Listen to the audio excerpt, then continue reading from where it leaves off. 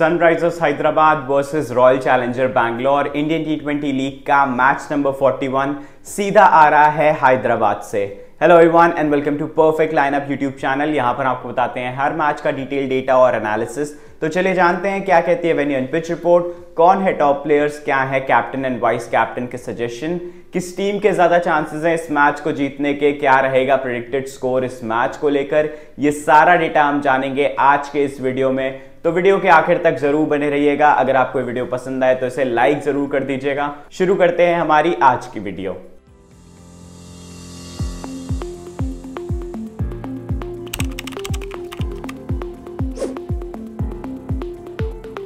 Sunrisers Hyderabad versus Royal Challenger Bangalore. एक तरफ़ Sunrisers Hyderabad top three position में चल रही हैं। वहीं दूसरी तरफ़ रॉयल चैलेंजर बैंगलोर बॉटम से नंबर वन पोजीशन पर चल रही है। दोनों ही टीमें काफ़ी अलग गेम खेल रही हैं इस इंडियन टी ट्वेंटी लीग में। एक तरफ़ सनराइजर्स हैदराबाद कमाल की परफॉर्मेंस दे रही है हाईएस्ट स्कोर स्कोर कर रही है।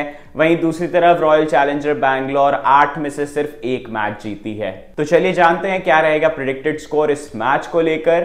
तो अगर हैदराबाद पहले बैटिंग फ़र्स्ट करती है तो 155 रन का टारगेट दे सकती है सात विकेट के नुकसान पर। वहीं अगर बैंगलोर पहले बैटिंग फ़र्स्ट करती है तो एक सौ बावन रन का टारगेट दे सकती है सात विकेट के नुकसान पर। अब अगर विनिंग चांसेस की बात करें तो हैदराबाद अगर पहले बैटिंग फ़र्स्ट करती है तो इस मैच को जीत सकती है 31 रन के साथ। वहीं अगर बैंगलोर पहले बैटिंग फ़र्स्ट करती है तो हैदराबाद के जीतने के ज़्यादा चांसेस हैं इस मैच को छह विकेट के साथ। आगे बढ़ते हैं और जानते हैं क्या है वेन्यू एंड पिच के स्टैट्स तो राजीव गांधी इंटरनेशनल स्टेडियम में मैच खेले जाने वाला है। अगर ग्राउंड डायमेंशन की बात करें तो 66 मीटर की स्क्वायर बाउंड्री है 69 मीटर की स्ट्रेट बाउंड्री है। पिच की अगर बात करें तो पिच स्ट्रांगली फेवर करती है बैट्समैन को। हाई स्कोरिंग ग्राउंड है यहाँ का तो मिडिल ऑर्डर बैट्समैन को ज़्यादा प्रेफरेंस दीजिए अपने लाइनअप में। एवरेज फ़र्स्ट इनिंग स्कोर की बात करें तो 185 रन का है। एवरेज विकेट लॉस पर इनिंग की बात करें तो सिक्स विकेट्स हैं। टॉस ट्रेंड्स की अगर बात करें तो इस पिच पर टॉस जीतने वाली टीम ज़्यादातर चेजिंग प्रेफर करती हैं। पर अगर वहीं विनिंग चांसेस की बात करें तो इस पिच पर विनिंग चांसेस इक्वल हैं बैटिंग फ़र्स्ट एंड चेजिंग के लिए। बॉलर्स की अगर बात करें तो इस पिच पर pacers and spinners equally perform करते हैं। तो इवन सिलेक्शन रखिए अपने लाइनअप में पेसर्स एंड स्पिनर्स को लेकर। इस आईपीएल क्रिकेट सिर्फ़ देखे ही नहीं, बल्कि लाइव खेलिए भी क्रिकाजा पर। क्रिकाजा पर है 3000 plus casino games and 1000 plus sports तो डिस्क्रिप्शन में लिंक दी हुई है, अभी उस लिंक पर क्लिक करिए साइन अप करिए क्रिकाजा पर रेफर करिए अपने फ्रेंड्स को और पाइए up to rupees three hundred तो बिल्कुल भी देर मत कीजिए, इस ऑफ़र को अभी ग्रैप करिए डिस्क्रिप्शन में दी गई लिंक पर क्लिक करिए और साइन अप करिए क्रिकाजा पर.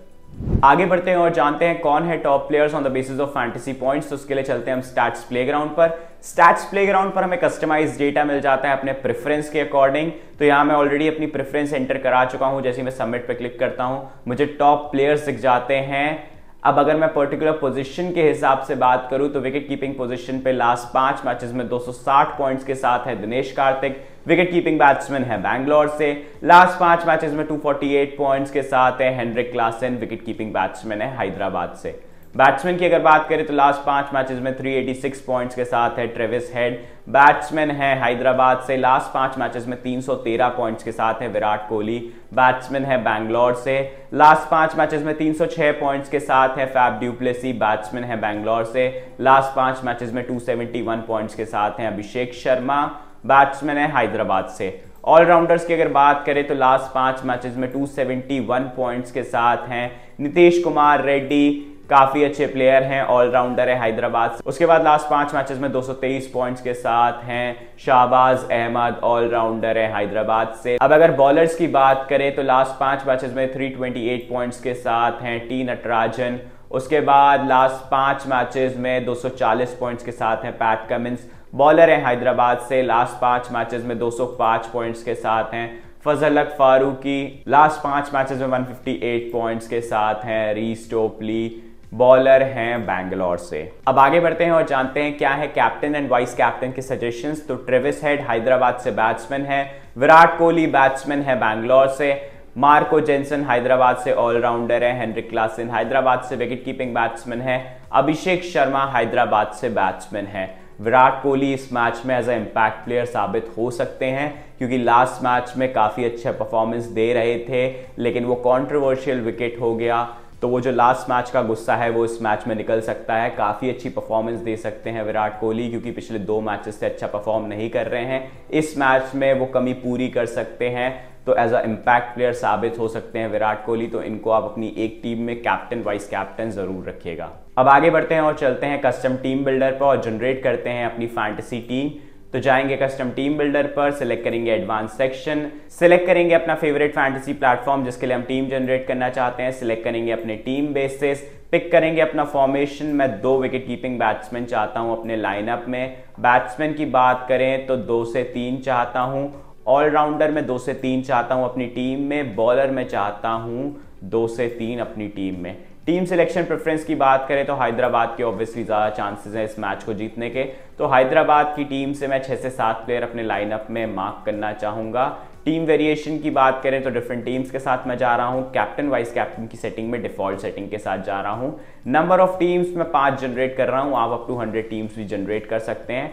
जैसे मैं नेक्स्ट पे क्लिक करता हूँ, यहाँ मुझे प्लेयर्स की लिस्ट दिख जाती है, जिनको मैं अभी तक जो मैंने एनालिसिस किया है, उसके बेसिस पर ऐसा प्रेफर्ड मार्क कर सकता हूँ लॉक कर सकता हूँ और एक्सक्लूड कर सकता हूँ अपनी टीम से। तो ट्रेविस हेड इनको as a preferred player mark करना चाहूँगा मैं अपनी लाइनअप में। विराट कोहली को रखना चाहूँगा अपने लाइनअप में, इसके बाद हेनरिक क्लासेन को रखना चाहूँगा। अभिषेक शर्मा काफ़ी अच्छी परफॉर्मेंस देते आ रहे हैं।